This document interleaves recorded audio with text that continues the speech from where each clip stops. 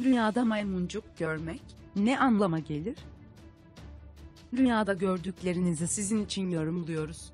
Maymuncuk görmek bir anlam taşır mı? İyiye mi işarettir? Hayatımı etkiler mi? Rüyada maymuncuk görmek.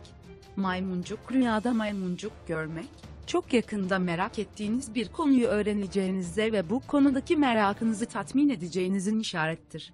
Rüyada maymuncuk görmek, çok kısa bir süre sonra merak ettiğiniz bir konuyu öğreneceğinize yorumlanır.